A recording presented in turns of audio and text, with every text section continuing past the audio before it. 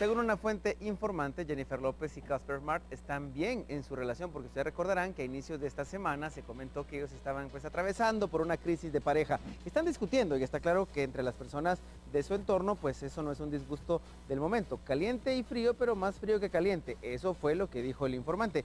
Al parecer los problemas que atravesó la pareja durante el verano aún no se solucionan. En el reciente homenaje que se le hizo a Jennifer en Washington por sus labores solidarias, se le pudo observar con Casper, pero no quiso posar en la alfombra roja, lo que ha levantado pues suspicacias y rumores sobre una posible ruptura. La fuente añadió que a Jennifer le resulta difícil estar sola, a ella le encanta estar en una relación, ella es la última romántica, quiere estar enamorada, pero también es una de esas mujeres lo suficientemente fuertes como para alejarse cuando las cosas no están bien.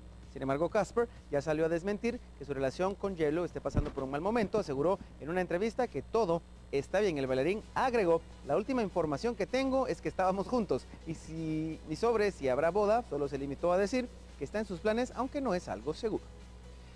Ahora hablamos de una colaboración entre Franco De Vita y otra artista mexicana. Recordarán ustedes que hace un par de años se realizó un dúo junto a Alejandra Guzmán. Ahora pues está trabajando con otra mexicana polémica y por el estilo. Hablamos de Gloria Trevi. Estrenaron el video Te pienso sin querer, donde canta dúo con la estrella de pelo suelto. Además de estar acompañado por una gran banda integrada por piano, cuerdas y guitarra. El estilo expresivo y sentimental de Franco De Vita combina la perfección con la voz única de la cantante mexicana. Esta canción inédita y de la autoría de Franco De Vita fue grabada en vivo el 11 de julio en la Ciudad de México. Te pienso sin querer está disponible en formato digital a partir del 15 de octubre, el mismo día que se estrenó el video musical, mientras el álbum completo vuelve en primera fila, saldrá a la venta a finales de este año. Pero está una probadita de Te pienso sin querer Franco De Vita junto a Gloria Trevi buena colaboración, buenos talentos. Son las 7.4, seguimos con más de Viva la Mañana.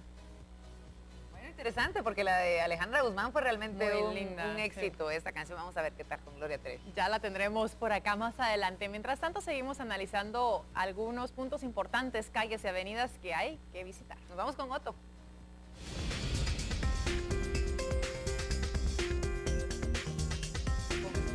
Con otro compañero. Sí, ah, es eso, la, R me, faltó en, la frase. Nos vamos con Byron.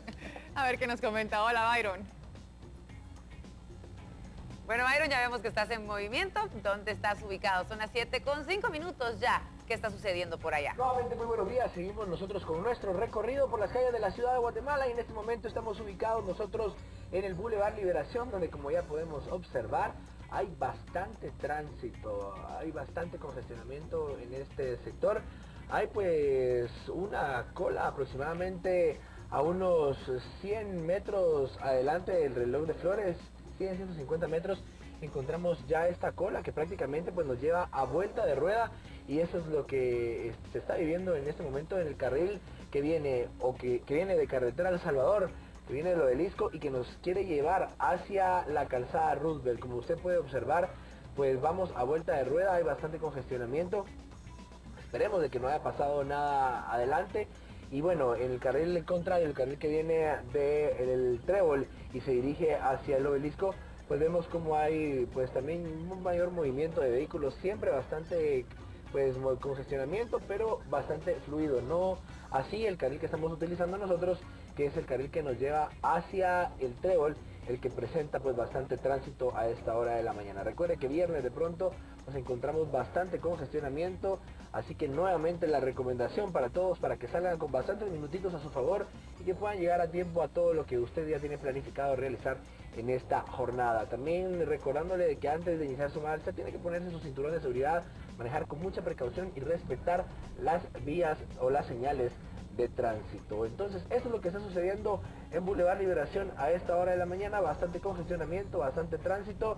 Si usted sabe alguna ruta alterna para pues utilizarla y usted no tener el problema de estar en este congestionamiento que hay en este sector, pues hágalo, tómelo, porque sí, esto es bastante pues complicado a la hora de que las personas tengan que llegar pues alguna actividad a tiempo, no lo van a poder realizar porque sí hay bastante, bastante tránsito. Hasta aquí la información, más adelante de otro punto de la ciudad, nuevamente, buenos días.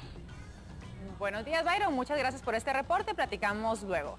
Bueno, 7 de la mañana con 7 minutos seguimos utilizando las redes sociales para compartir lo que está sucediendo en las calles. Para beneficio de usted que va de salida, si quiere mandarnos algún comentario, fotografía, hágalo a arroba guatevisión-tv. La PNC y el Ministerio Público localizan un reducto de pandilleros en uno de los 68 allanamientos que se realizan en búsqueda de pandilleros en la zona 18, 21 y Misco. Esta fotografía fue compartida por la PNC de Guatemala y ahí vemos entonces cómo era este refugio.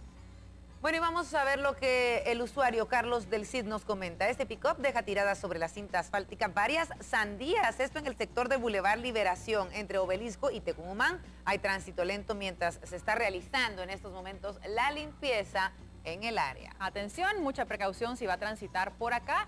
Ya sabe que está Twitter abierto las 24 horas del día para que usted nos haga llegar sus comentarios. Tenemos que hacer una pequeña pausa comercial invitándolo a que se quede con nosotros porque revisamos con más noticias. Al volver en nuestro programa, proponen nuevo cableado eléctrico para alcanzar un acuerdo entre empresa y pobladores en Río Dulce. Además, jóvenes de techo en Guatemala iniciarán la construcción de parque para familias en Bárcenas. Mientras tanto, ¿qué sucede en el mundo? Incendio forestal cobra la vida de una persona y destruye más de 100 casas en Sydney, Australia. En el deporte estaremos hablando de lo que sucede en el fútbol internacional, los clasificados al Mundial. Quédese con nosotros.